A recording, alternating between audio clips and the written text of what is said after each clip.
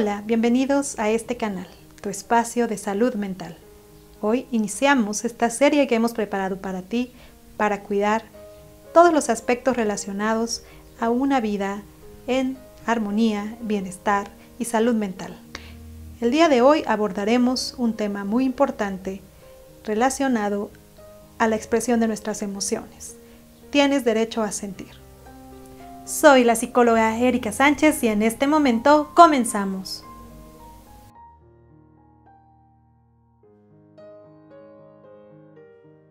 Las emociones nos han acompañado a lo largo de la evolución de nuestra especie. De ahí que sea súper importante conocerlas, manejarlas, explorarlas y expresarlas. Generalmente, a los niños cuando lloran, lo que primero les decimos es, no llores, cuando alguien se enoja, lo primero que le decimos, no te enojes. Si estás preocupado, el primer consejo de muchas de las personas a tu alrededor es, no te preocupes.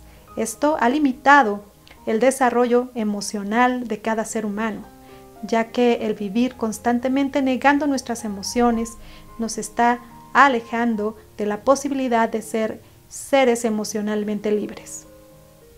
Expresar tus emociones es un derecho que tienes.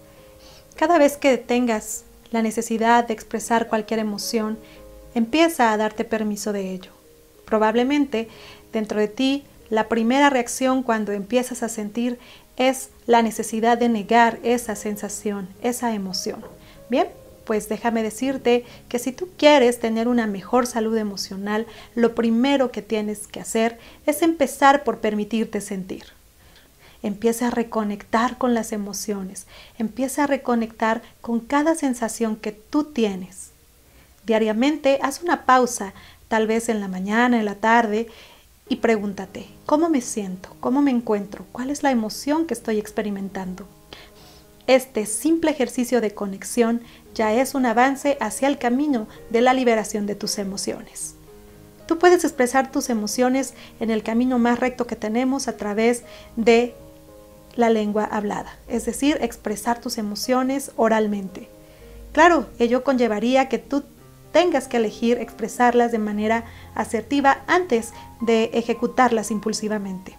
Pero el tema de cómo abordar nuestras emociones sin llegar a los impulsos será un tema tocado en la próxima entrega. Así que suscríbete al canal para que puedas encontrarte con esta información. Bien, regresando a nuestro tema del día de hoy, expresión de tus emociones tienes derecho a sentir. Otras estrategias importantes para poder liberar nuestras emociones y expresarlas libremente sin lastimar ni herir a nadie, la podemos encontrar en actividades como la escritura. Si tú te decidieras a tener un diario en el que puedas estar manifestando tus emociones cotidianamente, será de gran ayuda para la expresión emocional.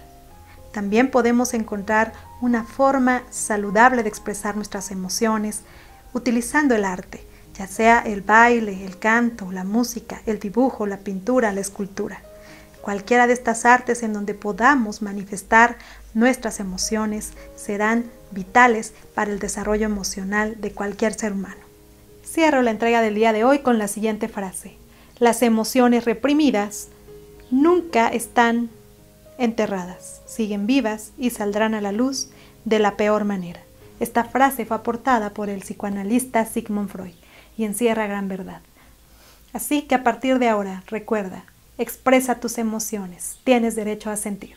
Fue un gusto estar contigo el día de hoy. Nos vemos en la próxima.